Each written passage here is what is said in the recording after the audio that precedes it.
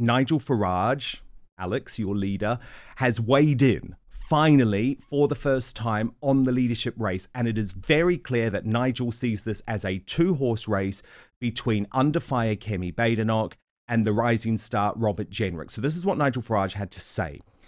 Conservative Party conference begins in earnest. Until now, I have refrained from intervening in the upcoming leadership election, but the time has come. Kemi Badenoch has spent weeks positioning herself as tough on immigration, but in 2018 she campaigned in Parliament to increase legal migration and was the biggest champion for students bringing independence. I don't believe a word that she says on anything. Then on Robert Jenrick, he said, formerly a man that believed in nothing, he now pictures himself as the great hardliner. This is almost certainly done for political gain and not out of conviction. He will divide the party. I doubt that Jenrick will last long if he wins. The Conservative Party is split down the middle and the brand is completely broken. So, how appropriate that we've got someone from Reform, someone from the Conservatives here. Andrea, let me start with you because I know you're friends with Nigel. How do you feel about his complete takedown of both hmm. Kemi Badenoch and Robert Jenrick? So he may be a friend, but he's still opposition, isn't he? And I'm opposition to him um, at the moment. So um, I think that's to be expected. I mean, I think clearly they don't want any of these. They want a really weak Conservative leader because that's beneficial to them, isn't it? Um, but talking about the actual leadership candidates, um, I mean, I disagree with his comments on um, on Robert. I mean, I was his PPS, um, Dan, and I, I, I know him personally very well. He was at my 50th birthday, him and his wife, and um, I think what people are forgetting this collective responsibility when you're in government and you're a minister, and you have to sign up for that um, and, of course, he did quit. He did quit uh, eventually. Yes, I, am saying so. For many years, he signed up to collective responsibility, but he is actually, if you look on the public whip, um, Robert is the only one who has defied the, the government whip, the Conservative whip, mm. and the public whip states is defied the, the whip 14 times, but the other candidates, according to that online, hasn't. So he has got a conviction. Yes, he had to um, abide by um, collective responsibility, which I did when I was a minister and I, I was a government whip. Um, but he chose his moment like I choose my chose my moment to rebel, and I think is vindicated himself afterwards. I mean, he's is um, I, I, think on this show I've, I've called him a born again Christian, a born again Thatcherite, but um, it's a born again conservative honesty, baby. Yeah, well, yeah, in all honesty, Dan, um, he, I know his views from working with him for many years. I mean, gosh, he did fundraisers back in um, 2015 in my constituency for me. He came to my business clubs to speak to businesses. So I've known him quite a, a long time, and and he he is a conviction politician. Otherwise, why would he have resigned? And and I, I think you know me well enough, Dan, that I cannot back somebody who is fake. No, you know, and that's a relief. It, it hurt me too that much. Is a relief. in the party. It's a relief for me to hear you say that because I like what Jenrick is saying. So, Alex, just before I get you to respond, I want to show you Jenrick's latest campaign video where it sounds like he's a member of Reform UK. Alex, listen to this. Wahbi Mohammed, a man born in Somalia who aided the plot to blow up the London Underground. Akin Akindoyin Akinshipe, born in Nigeria, who raped a 13 year old girl. Murad Mustafawi, an Algerian who recruited for ISIS in Edinburgh, a Ugandan who we only know as ZM, who beat a man to death in the back of an ambulance in London. What do these men have in common? They're just a few of the people the European Court of Human Rights has stopped us from deporting. The court is also why illegal migration is out of control. It's created an arsenal of rights for illegal migrants that are used to gum up our courts and prevent their removal. Our special forces are killing rather than capturing terrorists because our lawyers tell us that if they're caught, the European court will set them free. So, Alex, look, I put it to you, and by the way, I say this, I'm very honest about this. I voted for Reform UK at the last election. I'm a big supporter of what Nigel is doing at the moment. But isn't Robert Jenrick your worst nightmare? Nigel's worst nightmare because he's actually trying to outflank Reform UK from the right. Thanks, Dan, and thank you for your support in the election. It's very much um, appreciated. So, um, what a different video that is, uh, or a different pitch from from Robert Jenrick compared to, you know, you roll back the clock to the you know, ten years ago when he was elected in the, the Newark by-election, you know, facing a very strong challenge from UKIP, and he pitched himself uh, very much as a, a, more sort of centrist candidate, and and uh, you know, won that by-election on the back of you know, winning support of Labour voters to to keep out UKIP. Um, I was a Tory member for 21 years, and I was a very active Tory member, and I've been a councillor, and I've been a candidate, and I've done all sorts of things.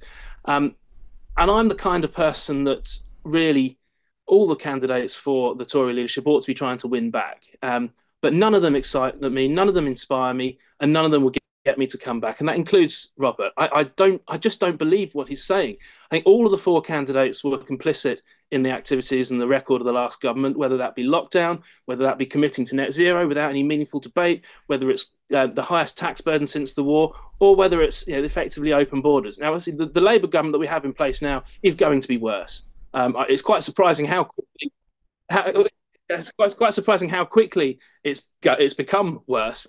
But that's not to excuse the, the previous government and all those who served in it for their element of responsibility in these issues that we're facing. So that includes Robert. Um, and it's why I think we've seen a poll only in the last couple of days from, from Ipsos, you know, very well regarded pollster, showing that uh, you compared to all four of the, the candidates, then the one uh, you know, figure on the right of British politics that stands head and shoulders above all of them uh, when measured uh, as you know, what it takes to be a good prime minister. It's Nigel. It's not Robert. It's not James. I knew you were going to say that. I knew you were going to say that. Uh, look, it's been a bit of a car crash of a conference for Kemi Badenoch. The problem is, she is not prepared to commit to any policies. So she's speaking in generalities, and it got her tied up on the issue specifically of maternity leave. So this was the interview that sparked all the trouble on Times Radio. We need to make sure that we are creating an environment where people can work and people can have more freedom to make their individual well, decisions. Well, it's here nor there for people who can't afford to have a baby, isn't we it? We need to have more personal responsibility. It wasn't any maternity pay, and people were having more babies. We need to make sure. Well, that's because we women often had to not work; they had to stay at home. So, is that the solution? That's not. That's you're putting words in my mouth. The point I'm making, Kate, is that we have got to a point where government isn't working anymore, and it's tinkering everywhere. Me giving you an exact amount of what maternity pay should be when circumstances are different everywhere is not where we're well, starting statutory from. maternity pay. It's it's not where I'm starting from in this campaign. I'm talking about principles. What is it that we believe as conservatives, rather than throwing out lots of different policy ideas out there? Yeah. We've got to a point where government has become about tech, uh, technocratic micro policy management. That's not what's going to get this country. And the the MSM were after her at conference today. Watch this.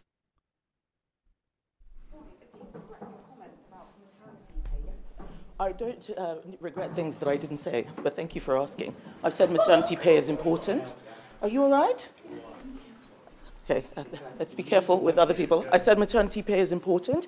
If we want to fix maternity pay, we need to start with making sure that government isn't intervening in business excessively. Businesses can then pay more.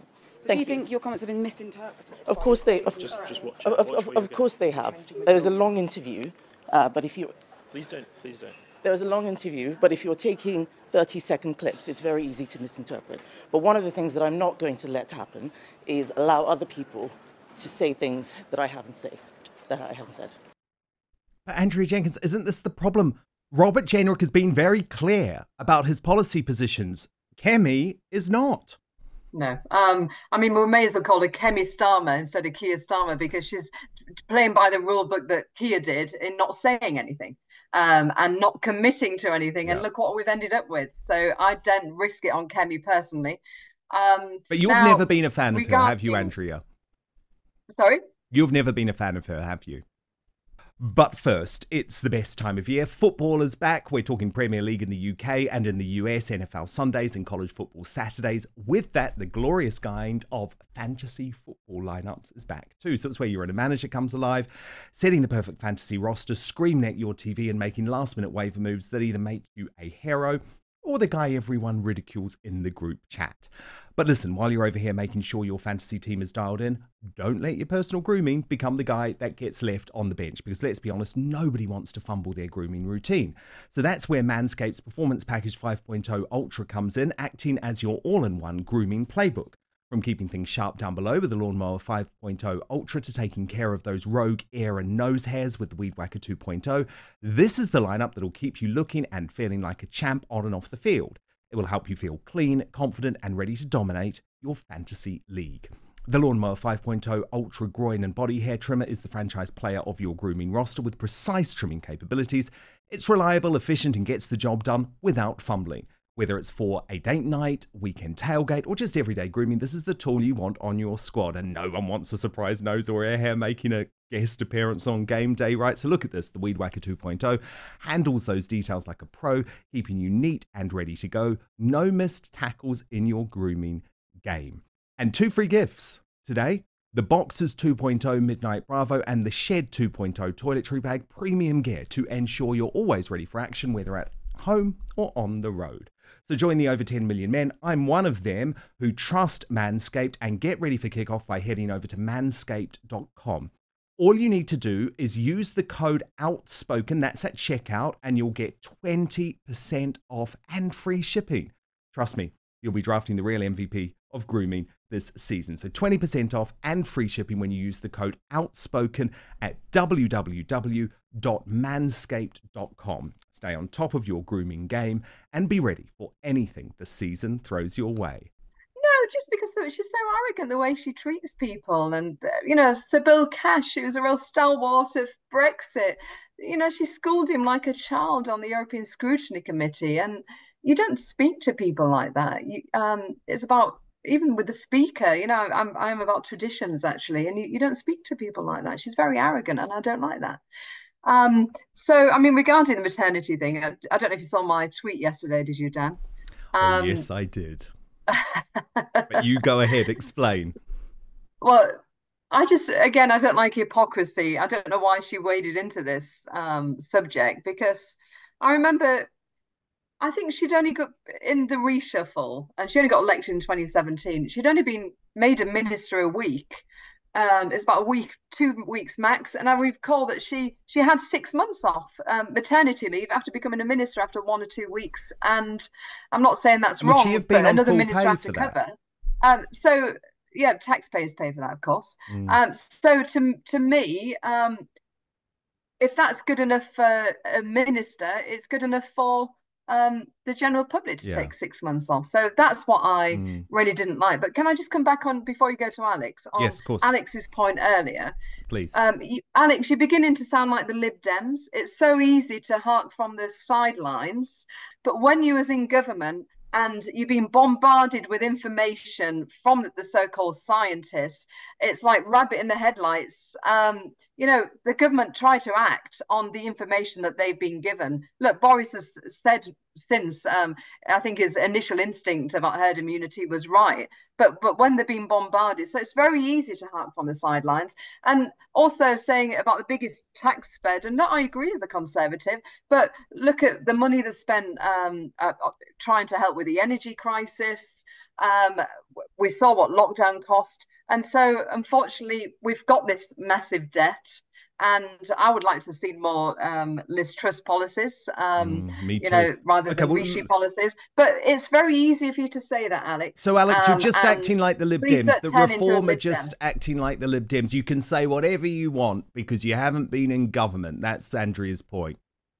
Wow, I've, I've never been called a Lib Dem before. That's uh, I'm not sure if that's a compliment or not. They they it's not. Uh, it's definitely not. okay, I'm fairly sure it's not. Well, in terms of electoral strategy, it might be. Uh, you know, winning 72 seats on a smaller share of the vote than we did, but you know, we could go down a whole different rabbit hole talking about electoral systems and and, and reform. But um, no, uh, yes, the, the the tax and the and the debt is you know, largely to deal with um, uh, or very large part to deal with with uh, payment for lockdown and furlough and and and dealing with the you know, energy situation. But again, both of those are problems that in no small way are of the government or the old government's making.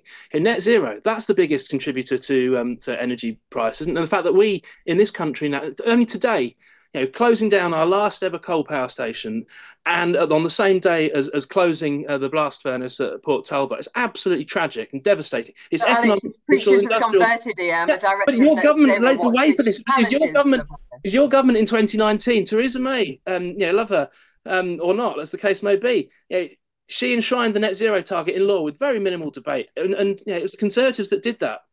And, and but got... I think the issue is, um, look, this has been a big global movement, um, this whole net zero, and there's been very few of us who's been brave to speak up about it. In all honesty, and I think that you know there, there's also international pressures as well on governments to to conform to this, and it's only now actually that I think that with what we've seen in, in other European countries rolling back and, and actually the negative impact of these net zero targets and how unachievable they are, that that people are seeing it um, with a a realist perspective now. So hindsight's an easy thing, but I think we're in a different situation than we was five, seven years hmm. ago with information.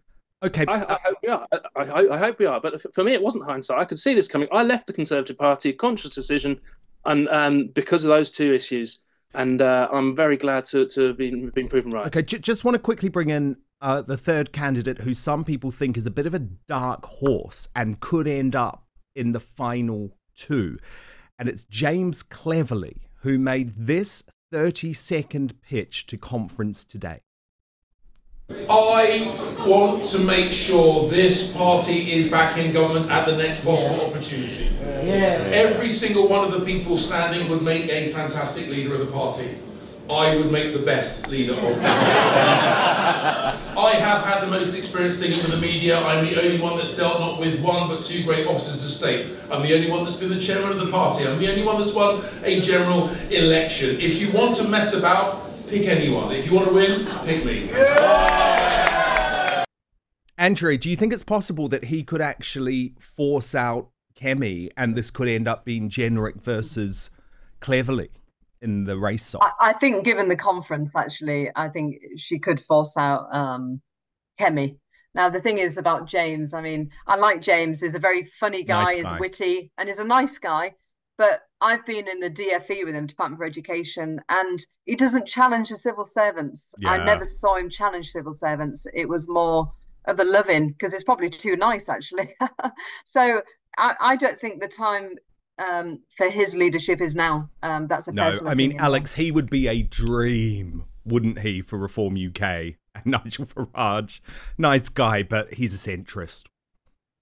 Yeah yeah, I, I think that's a, a fair comment. Um, and uh, again, point to his record in government. Uh, yeah, as Home Secretary, presided over you know, near record net migration of, of um, you know, nearly seven hundred thousand. So it's it's uh, I think all, all of them all of them have, have got their, their weaknesses, and very few of them have got very very uh, very many strengths. Um, mm.